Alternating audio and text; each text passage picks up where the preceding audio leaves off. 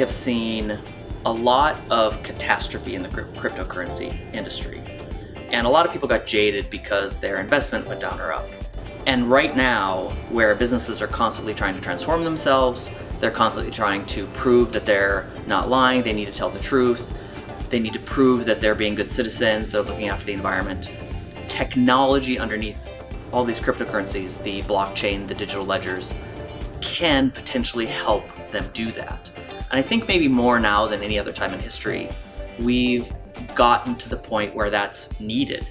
And I think we have the tech to help that along. Businesses who are looking for a new and better way, or even a different way, or a way to cement themselves as maybe a new player in the ecosystem, they have an opportunity to use a technology like blockchain, like a digital ledger, to uh, help build that securely and safely. What is really unique about our company is we have some of the world's best cryptographers, mathematicians, device builders. We have been really good at digital television, content protection for a very long time. You can trust that if we come in and do the audit, you know it's world-class experts doing it. We can invent with you. Uh, that's the culture we have, an engineering invention culture.